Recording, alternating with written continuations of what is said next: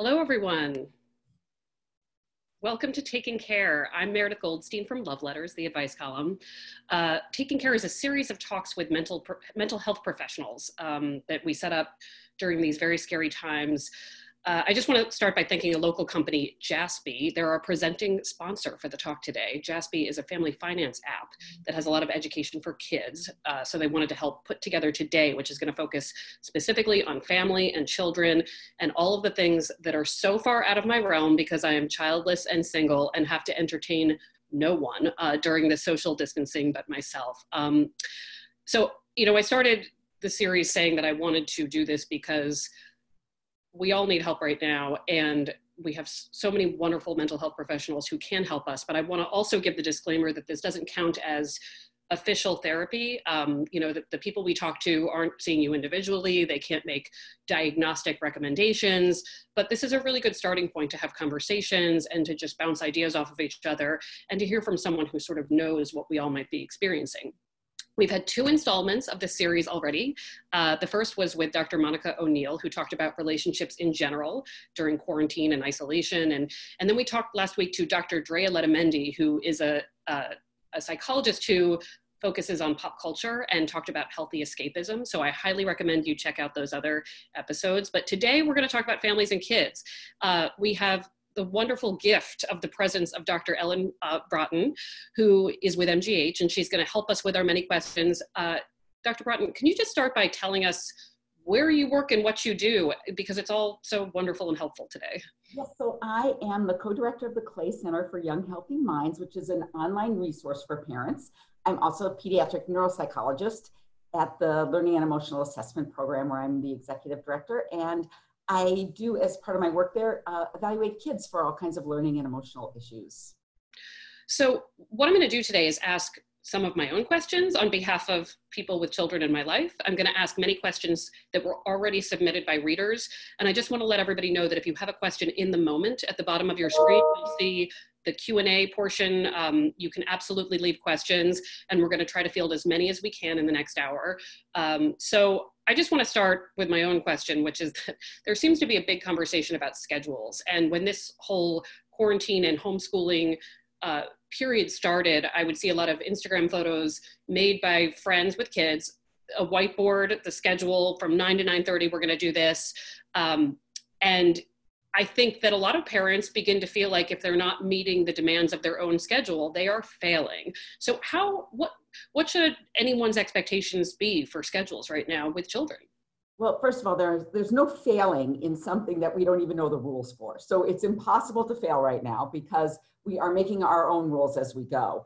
I do think though that the concept of schedules is an important one for kids because they need schedules. They just need to know what's coming, and especially at times that are really difficult, where they we, we really don't know what's coming down the you know but at the end of next week or next month we don't know if school is going to happen. So to be able to schedule their time during the day is really important. That being said i think that sometimes parents set themselves up for failing basically their own uh, goals. And i think that you've got to talk to your kids about what they expect from a schedule, especially once they reach the age of like eight or nine. They should be having a good idea about what would work for them on a given day to get their work done.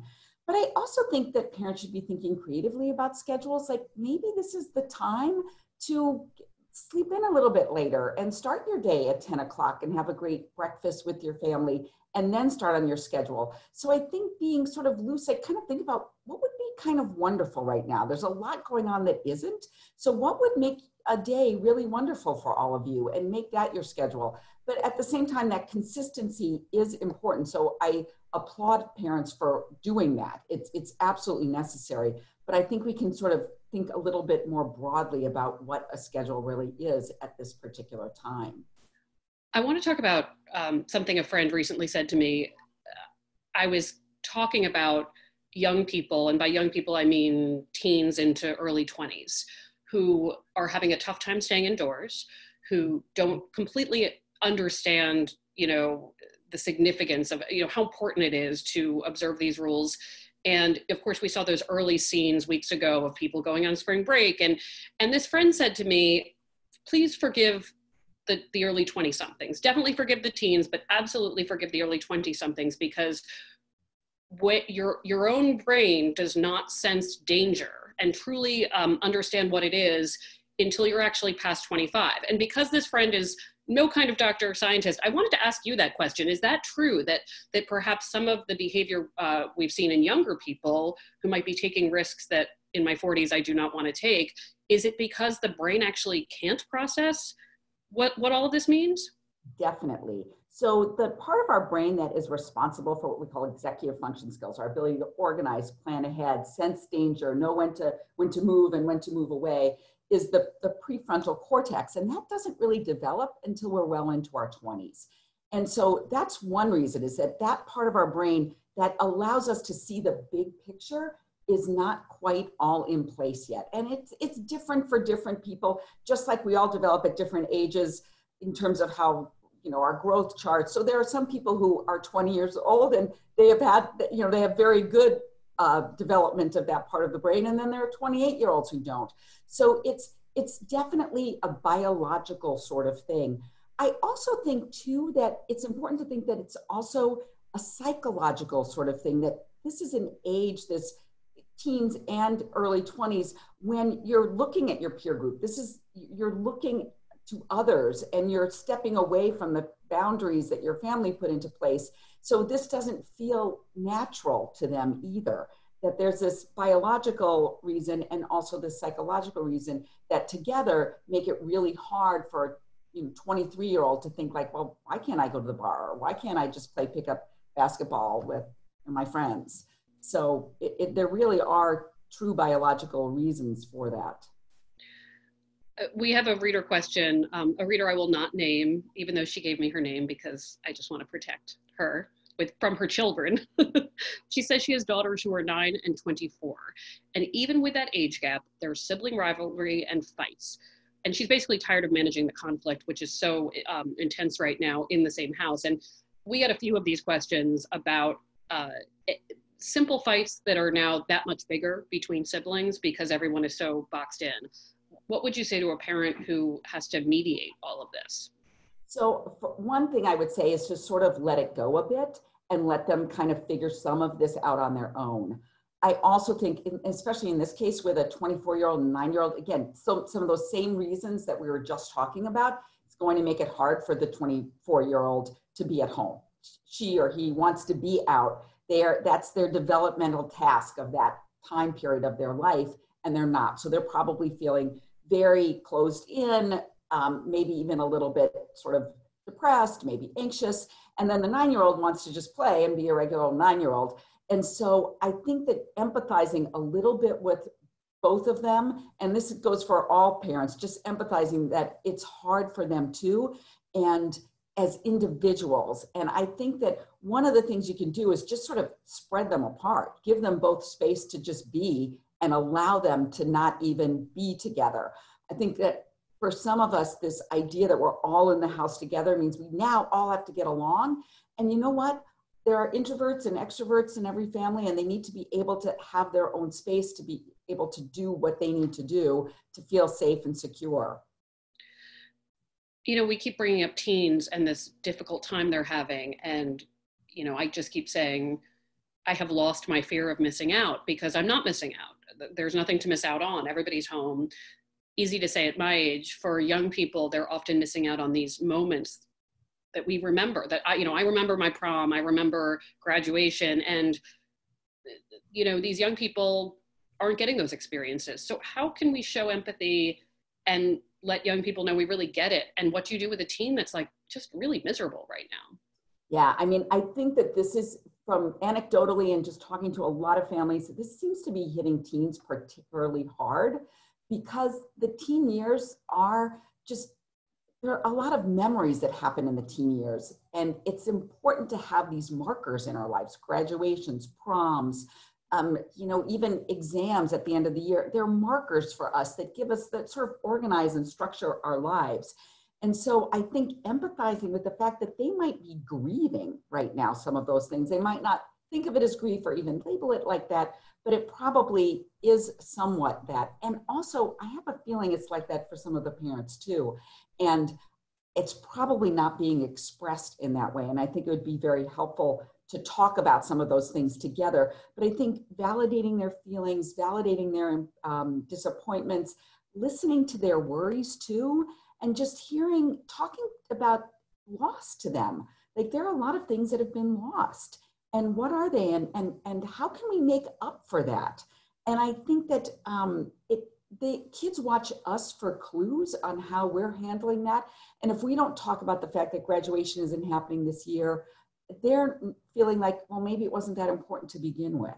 So I think that we've got to find a way to create some kind of rituals for them, either now or talking about the future with them, because I think that the sense of loss sort of permeates a lot for them. And it might also talk, uh, might also get into this idea of um, the sibling rivalry, especially, especially when we're talking about different age ranges and why it's really hard because kids are going through different things at the same time in, in the same um, house. You know, you talk about grief, and I want to bring up a very sad question we received from someone who asked about young people under 10 dealing with a loss of someone to COVID um, and how to process that grief. And, and one of the things it made me think about was that ordinarily if we lose someone it's our experience the world gets very small and people can come to our aid they can comfort us um, and our experience is unique. And right now people who are losing friends family especially young people like they can't grieve this in normal ways they can't get support in normal ways and the rest of the world is very preoccupied with their own losses. So what do you advise for parents who are they themselves uh, coping with loss, but also helping their children who've lost someone to this?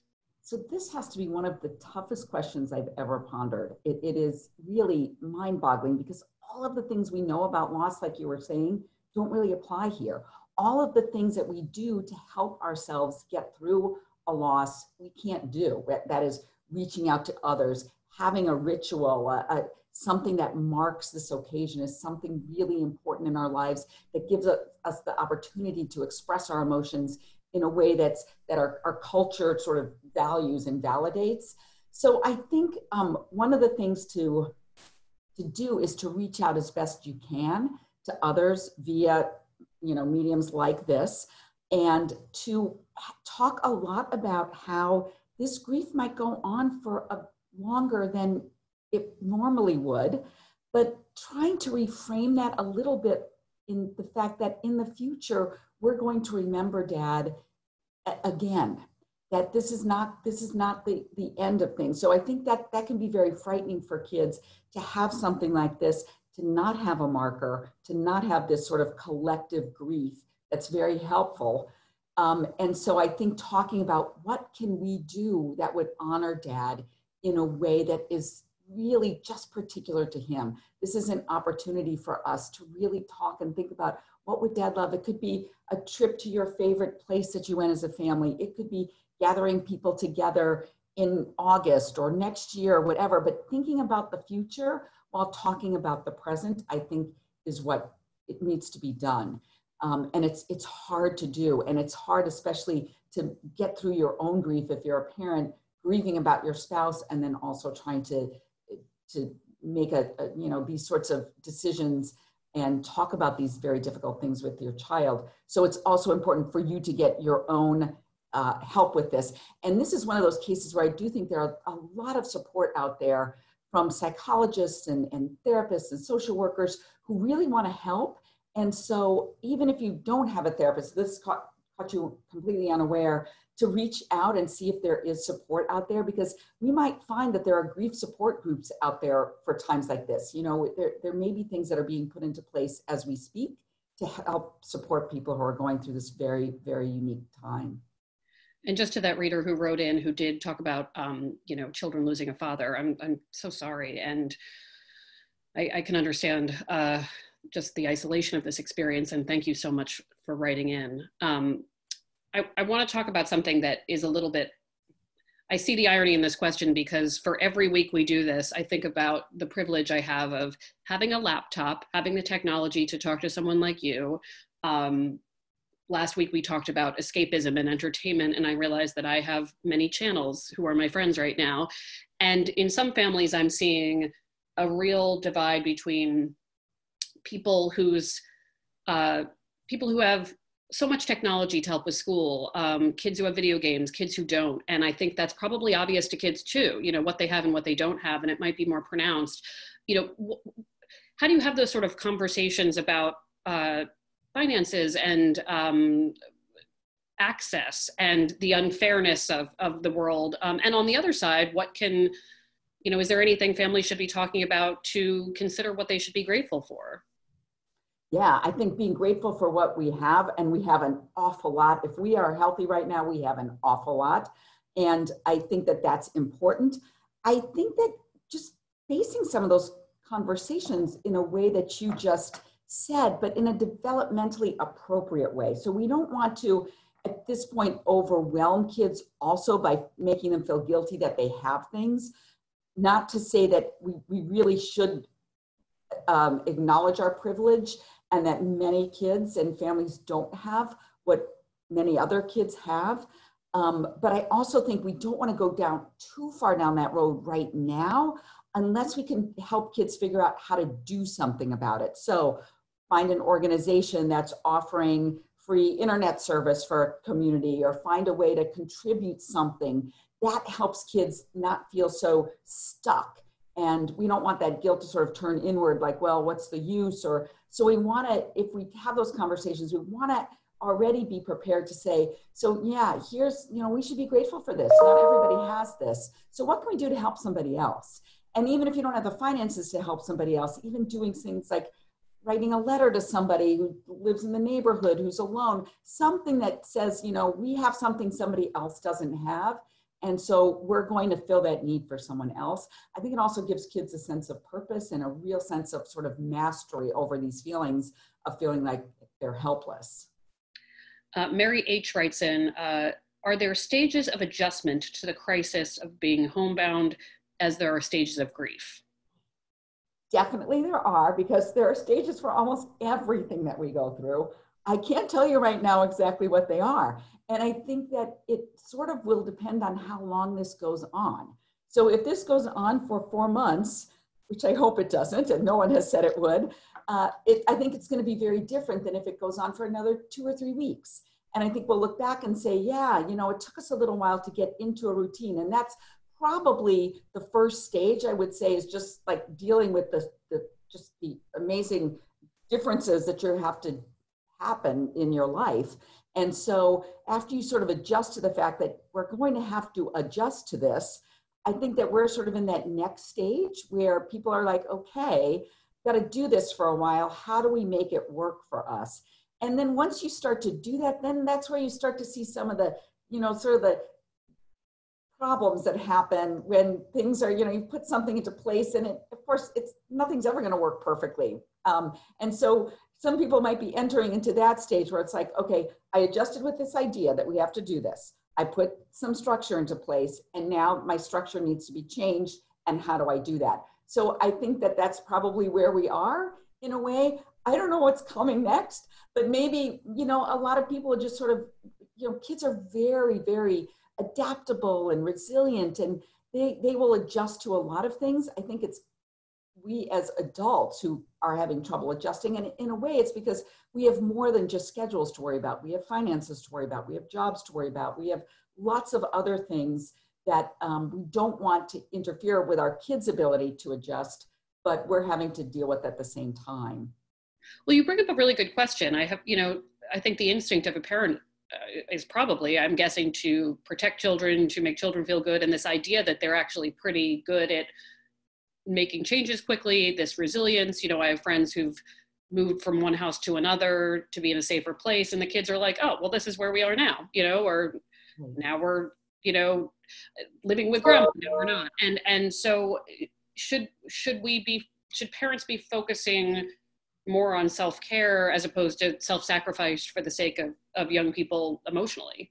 I do think so. I think that we cannot sort of pilot the plane. You know, if you think about the parents as the pilot or the you know person driving the car, we can't do that unless we ourselves are in control.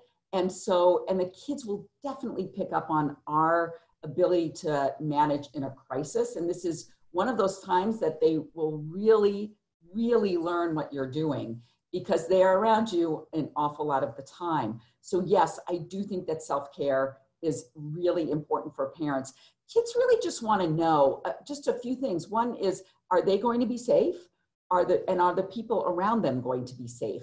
And I think you know there are no guarantees in life, but you can talk about that. We you know, and kids understand that too. They know they're moving to be safer. So for them, oh, oh, that's great. Now I know that's taken care of. We're going to be safer here now because we went to grandma's and um, and so and they can see that you're doing something to keep yourself safe and they want to know that there are other people around them that are keeping them safe too. So if you're kind of fulfilling those things as a parent you're doing an awful lot in and then at the same time take care of yourself.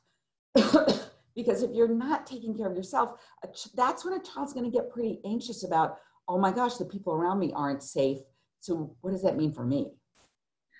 I want to ask a question from anonymous, and and by the way, just reminding everybody, there's that Q and A um, button at the bottom of your screen. So if you want to submit a question, absolutely do that in real time.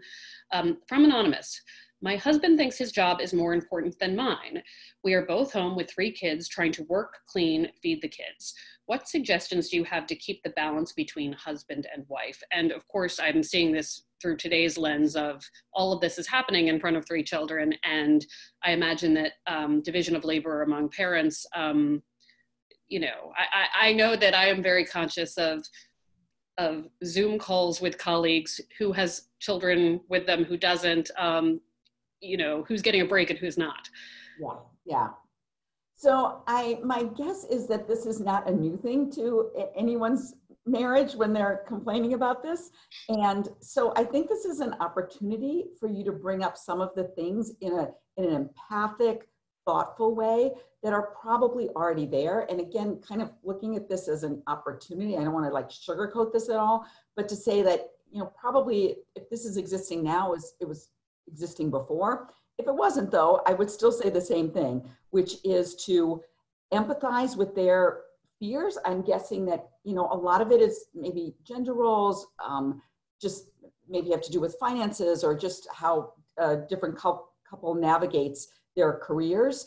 However, it could also be bigger than that. It could be in part due to anxiety on, on the spouse's part. It could be because he's worried that if I don't do this, I am going to lose my job. And without my job, we are nothing. And, you know, so I think bringing this up is it, it just not like oh, you didn't do this and I, you know, I'm feeling this, but to really say, you know, I'm feeling this. How are you feeling about this? Why is this happening? And, and how can we make this better?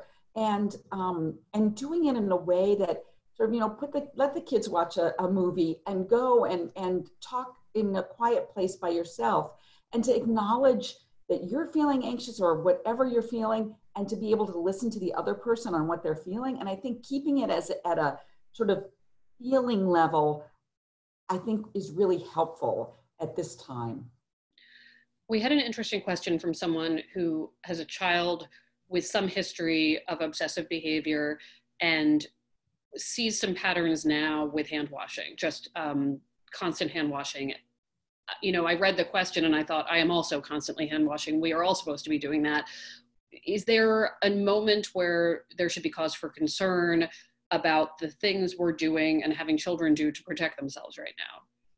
So it's really normal if someone is already sort of predisposed to OCD tendencies for something like this that makes you anxious for those tendencies to reappear. And so don't, uh, you know, don't worry about it in terms of you've done something wrong or they've done something wrong. I think OCD behaviors often come with a lot of shame around them. So I think one of the things you want to do is to not give your child a feeling of shame about this when you bring it up to them. It's really normal for lots of us to feel a little bit obsessive right now. And I think that one of the things you can do in the short run is to sort of keep away from some of that news, even a little bit of that can sort of trigger sort of an, an you know an obsessive sort of tendency in someone to, to compulsively wash their hands. So keep the background noise down a lot. I would say when it's cause for concern, is when those hand washing behaviors are interfering with lots of other things. Like they can't come to the dinner table because they're washing their hands, or they can't sit at a meal to do that. They're, they're constantly talking about it, doing that. And then I think it's time to reach out to someone for some extra support in that because there are lots of great cognitive behavioral techniques that can be used medication if it's if it's at that sort of point and i'm not saying it is but i think that there are lots of things we can do when you're seeing that it's really becoming more than just a behavior. But i think also acknowledging it in a way that is not shaming and to just say boy you know i'm washing my hands a lot and i see that you are too. How's that feeling for you? Do you you know and just sort of opening the conversation about it empathizing normalizing it that for a lot of people this is normal right now and then seeking help when it when you really start to think like oh this is really um, becoming a, a, real problem. And depending on the age of the child you can also say does, does it feel like it's a big problem for you right now? Or do you feel like you've got it under control? Because most kids with ocd will be able to say i feel like i can't control myself. And so that's when you know you need to, to get some extra support you mentioned background noise and how it might affect people. And last week we had a conversation with Dr. Letamendi about screen time. And I had a feeling that because she is a pop culture person who thinks a lot about what we get um, from entertainment and specifically superheroes, she's a, a Batman person. And so many parents are worried about too much screen time with kids and and I asked her what she thought about that and and she was very specific about contextualizing screen time and calling it what it is that it's a different thing to watch TV than it is to play a video game. It's a different thing to be on a Zoom call with a grandparent than it is to be doing schoolwork on a screen, that we can no longer just say screen time and mean one thing. And I wanted to bounce this off of you because I think um, there is that guilt, right? Uh, you know, friends of mine who are saying, I put my kid in front of Mr. Rogers and walked away. Is that okay? And I think, oh my gosh, that's wonderful. Mr. Rogers is, it, that sounds like a great uh, activity. Um, so, what's your take on screen time, how to define it, and what works? So, I think the idea about looking at it as not just one big thing is brilliant, really, because you're right. We're asked right now, our whole lives are, are revolving around screens. Whether you're a student, whether you're a working professional, um, whether you just want to connect with your grandparents, and whether it's it's a computer or a cell phone, you're doing every all of your social networking on screen. So yes, there is a, you really need to sort of delineate what those things are. I think that you've got to set some boundaries with kids about what kinds of screen time they're doing. So you need to sort of chunk out so the video game time. There are some kids that I know who would spend the entire day playing video games. And so you've got to be able to say, let's look at the different sorts of things you need to do and let's look at what has to be done. How much time is that going to take? Let's look at how much time is reasonable to play video games. And most kids actually do have a good idea about what's video, what's reasonable. They don't necessarily want to do it, but they do have a sense of what would be reasonable. And for most people, you know, one or two hours a day is probably adequate. And and then um, because I'd rather see kids either doing things socially online or or even just watching some shows with their parents. And I think that that's something we don't very often do as a culture. Like, you don't often see families going to the movies together or talking about a film together. I think this is a wonderful opportunity to do some of those things. Show the movies that you loved as a child or a young adult with your kids and talk about it. Like this is a, great learning experience to talk about, you know, what did that character feel and how did that story come out and why do you think the author did it that way? And how could, else could it have been? I mean there's so much discussion you can have. And then also watching educational things with your kids is great too. These are all sort of what we call screen time but i think it's a it's a wonderful opportunity. And i think that the only thing to be cautious about are those kids who tend towards sort of being obsessive about screen time or video games. It's actually a very small percentage of kids, but if you've got one of those kids, it's something that you've got to really be thinking about. And sometimes even seeking help if you find that your child is playing video games 10 or 12 hours a day and it's affecting their behavior, uh, calling and, and getting some support in that uh, is important. But I think really talking about what are the kinds of screen times how do we make it more of a family event? And also to say, if you put your child in front of Mr. Rogers for half an hour, it's totally okay. Totally okay. how do you decide what information a young person can have about what's happening at any given age like you know you think about news and what we're exposed to and i'm scared by headlines and then the headlines change and sometimes the news is um, better one day than the next but uh, are there benchmarks um, knowing that every child is different are there benchmarks for when kids can process information at different ages and how much actual news they should be exposed to Yes. So under about the age of 13 or 14, really as little news as possible right now is the best idea. And for young kids, but they all know what's going on. So, so you, the first thing you want to do is find out what does your child know.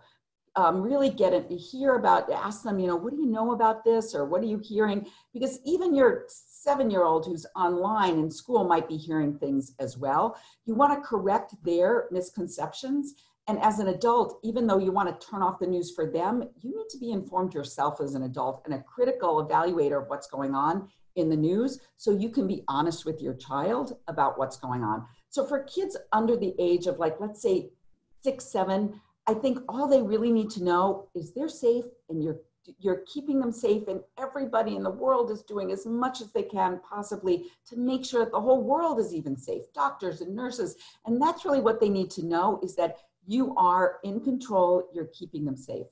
For that middle aged kid that like eight to 11 years old or so, they have some really concrete, this is an age where kids really start to think about, you know, they like to understand about how blood works and how the brain works, and they're really interested in all those little details. So getting a little bit uh, into that is okay, not in a way that's going to frighten them, but to say, you know, yeah, viruses happen and sometimes they can be very open to sort of talking about this in kind of a way that puts them a, a little bit, to, you know, defends them against the scary stuff. Because when we kind of make something real, it can become much less scary. With adolescents, this is really a time to have conversations about the big issues in life. Like, how do we handle pandemics as a world, as a society? What decisions do we make? What kind of things do we want to set up in our in our future? It gets them thinking about, you know, they're the kids who are going to be fixing these problems for us. So start to have those really deep conversations with them about what they think about all of this. And, and also again, correcting any misconceptions. Sometimes kids, even adolescents, can be thinking things that are just not true at all. So again, you want to be informed yourself as a parent. Um, but I think that, yeah, kind of thinking about these three sort of chunks of ages that, you know, the, young kids want to be told they're okay. The middle chunk of kids want to be want to talk about this in sort of a concrete way, and the older kids want to be, really be able to talk about this in an abstract way with you. And I think that it's a time to sort of share. Well, here's how I feel. How are you feeling about this? that can be very important. Um, we have a question also from Anonymous. Um, how do we talk to seniors graduating from college about their future? No commencement, dream jobs might not happen what do we say to them about their future lives when we don't know ourselves? And this is you know high school graduation is one thing but for someone entering the workforce right now um, i it must be very daunting to think about when does it even begin? When are the opportunities going to be available again?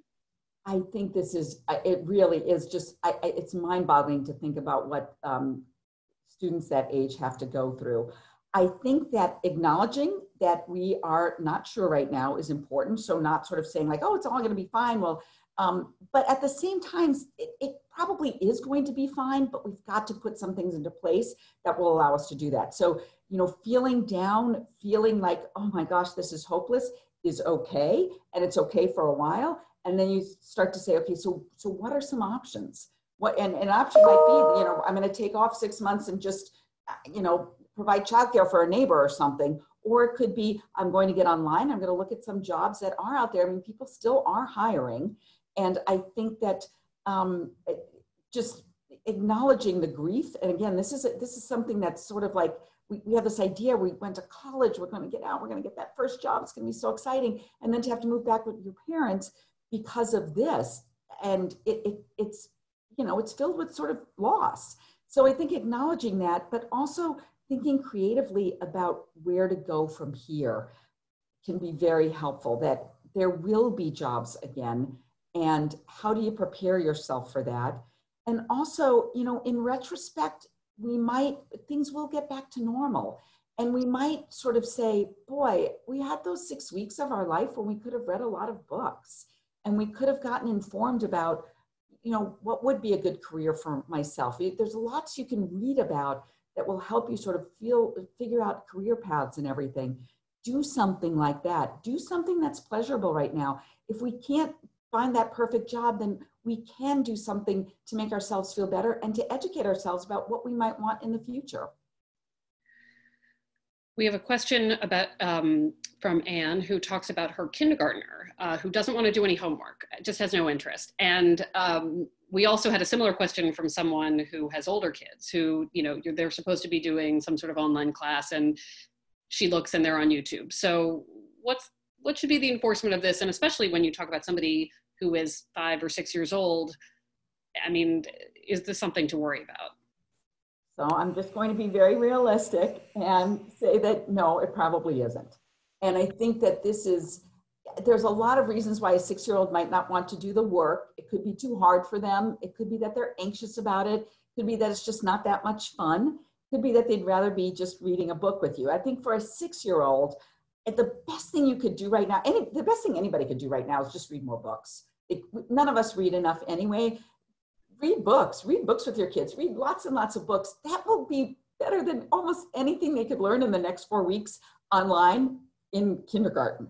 So do something and don't let your child off the hook. Like, don't say, well, okay, if you don't want to do it, I, but say, either you're going to do this or we're going to read now for the next hour or we're going to do something so it's you know you don't want to give them the opportunity to just do nothing and you need to figure out what would be the most appropriate thing for them I also think that for the older students, it's it really can be very difficult to to keep working online. I mean, I, I find that it, it's sometimes kind of exhausting to be on Zoom calls all day that like many of us are on, and yet we're expecting our eight-year-olds to do this all day. I don't know why it is, but it, it's it's exhausting sometimes because I think it gives you this sense that we're actually communicating, but no one's actually there to communicate with and it's all on this this flat screen. So I think talking to your I forget how old that child was, but talking to them about well, so what what gives here? Like why don't you want to why don't you want to do this?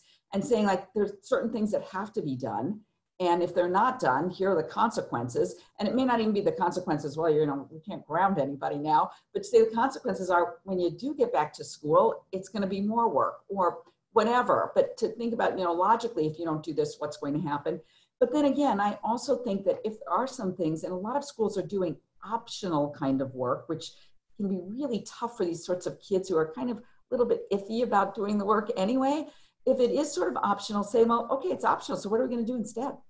And again, reading, I think there are lots of great educational um, videos that, that you could watch with them, but then they better be talking about it and not just vegging out and just watching it. So I, I think that taking control in some ways and knowing what is absolutely essential, what ha- some schools it's like this has to be done. Some schools it's sort of like this is, you know, negotiable. And so I think figuring out that and just being very conscious of what you're doing. I think that's the, the thing that I, I should have mentioned earlier with all of these sort of things, being conscious about what we're doing and why we're doing it with our kids helps them understand that again, we're in control. There's some structure to this. It's not just like a free for all and everything. And here's how we're going to manage that, I think is important. We have a question um, about thoughts and suggestions for parents of kids with disabilities. We're trying to work at the same time as providing care, cooking, cleaning, schooling, and kids with disabilities can't do stuff on their own or online sometimes. And, um, you know, I imagine that these are situations also where there might be um, ordinarily a community of helpers that are not available right now. Yes, this is a very tough question. And it's even unclear legally what the school is required to provide at a time like this. As a parent, I would um, very much encourage you to advocate for special services um, for your child at this time, whether it's they need occupational therapy or speech therapy or special education support to really advocate that they're getting that at this time. I feel like it's it's important for them to even get a smaller um, time of, of, of correct education than to be sort of like bumbling along for six hours in a, in a school day. I'd much rather see kids who have learning differences get some really targeted support for their learning issues. And so I would encourage parents like that to contact their school special education director their teacher, their what, whatever the, their child needs in general, to ask if that could be somehow accommodated for them. I mean, legally, they are entitled to those accommodations. There is some talk that maybe that will go by the wayside, which would be terrible. But for right now, I would really encourage them and advocate for them to do that. And I also think that kids with learning differences oftentimes learn in different ways. And we've got to start thinking about there are lots of things you can be doing at home with those kids that actually meets their needs better. So teaching math by cooking with them, um, talking about how to plan a day in a calendar by actually planning it out every day and, and following it. All of these things that you can be doing at home with them sometimes meet their needs much better than what they'd be getting in school anyway. So building things, cooking things, talking about measurements and, and amounts and all those things, teaching them great kinds of skills. We have a comment from Anonymous. Um, there's a lot of talk about filling time. But what recommendations do you have for those that don't have a moment of peace? My husband and I are working full time and trying to balance time with our 2.5 year old. By the time he goes to bed, we have to get more work done, go to bed, and repeat the cycle all over again. And it reminds me of an editor um, at the Globe, who I will not name, who recently said, Well, I get half as much work done in twice as much time. And, you know, that's because of parenting responsibilities and home obligations that, you know, she had to take care of. So, um, you're right. There's there's this other end of the spectrum of it's not about filling time. It's about finding a minute.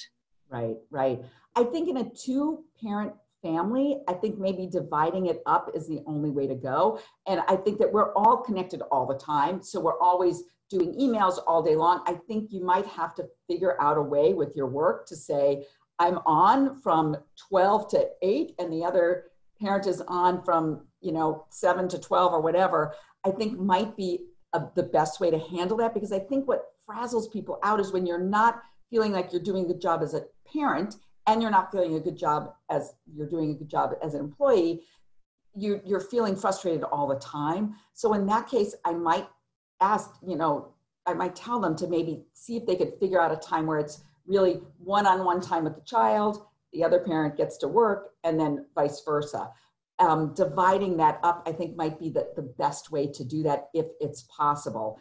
If not, I think that thinking about putting some structure into your two and a half year old's life, you might have to use some videos. You might have to, you know, um, just have times in the day where you're taking a lunch break and, and playing with the child. And, but I also think that, you know, kids have been around parents for centuries while they've been working and they've had to occupy themselves. And I think that we have sort of forgotten that, that we sort of think that if there's a two and a half year old, we've got to do something with them. Whereas for century, from the beginning of time, two and a half year olds were just tagging along while their parents were doing their work. And I think starting to think like that, like, okay, I got my two and a half year old, you're, you're going to have to do something. Like, you've got toys here, go do something. You can sort of train them to do that a, a little bit. I think that we have this sort of guilt, like, oh my gosh, I've got to be doing something with them. And um, and it might take some work. And again, if this only lasts for another three weeks, probably, eh, you know, by the time you teach that skill to your two and a half year old, it, it might be, you know, a moot point. But I think that um, it's something that you can start to think about is how do I have my two year old kind of taking care of herself? Um, not, you know, making her own dinner, but, uh, but, you know, being in the room with you playing while you're working. I think that sort of teaching her about that is okay you know, I think I said this last week, but I, you know, I had a single mom and I was, a, you know, what they called a latchkey kid back in the day. And I think this is such a, a Gen X take on it. But um, at that point in time, there was no other option than to sit me down in front of a TV. And um, I just keep telling people I turned out fine. I know. I, I, exactly. I watched a lot of TV, and I still love to read and write, and, and my kids did too. And so I think it's what they're watching on TV that's important.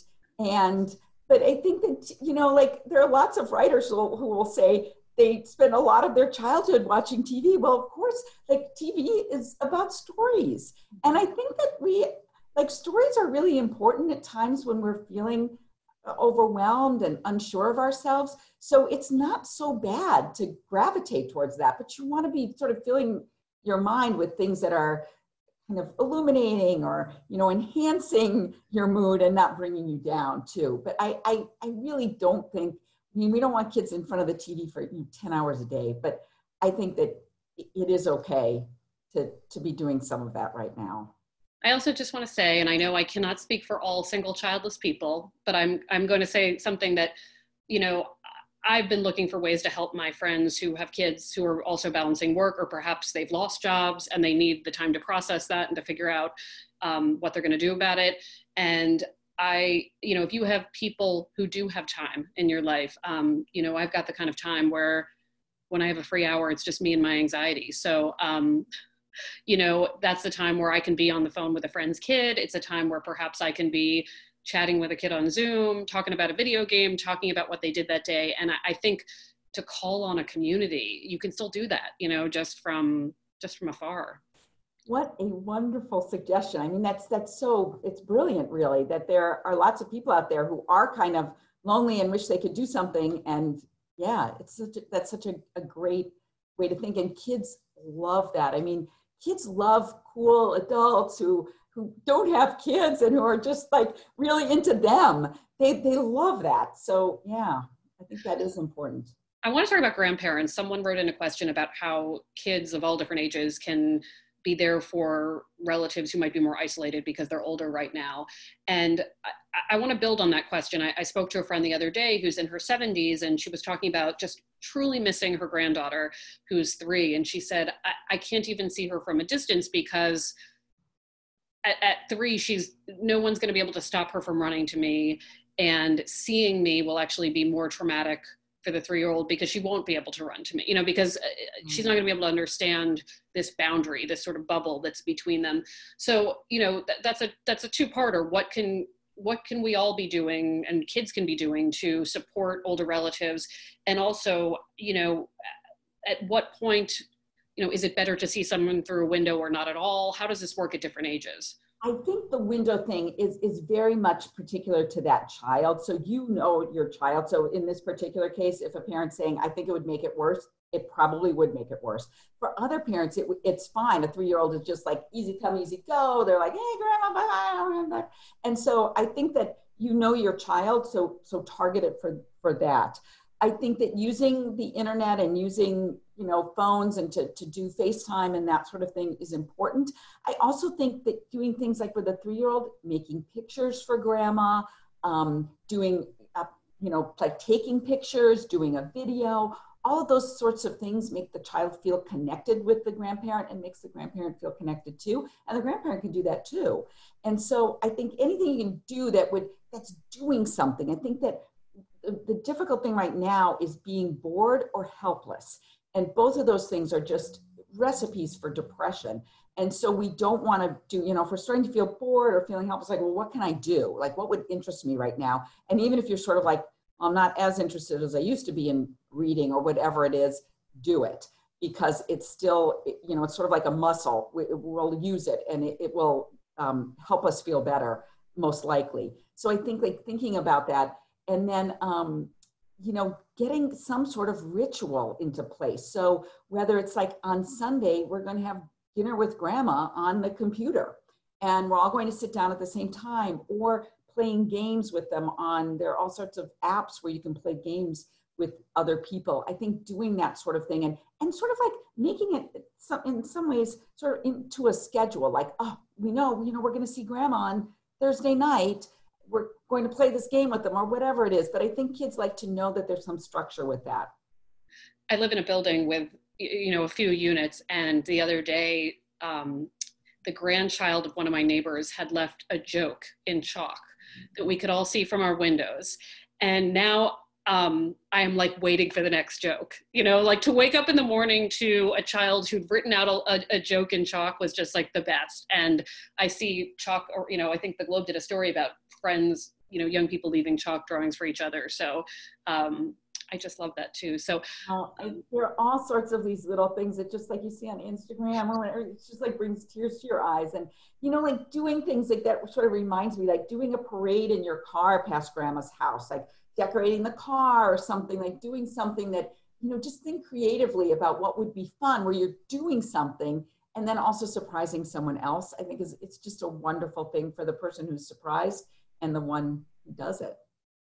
What does it mean when a young person, uh, a very young person, five, six, seven, begins to talk about um, this virus in play, you know, playtime? I have a friend who talked about a child saying, well, you know, I'm making a Lego force field against the virus, or I'm this is the cure, or you know, should, is this a concern? Is this a good thing? What is, what is that about?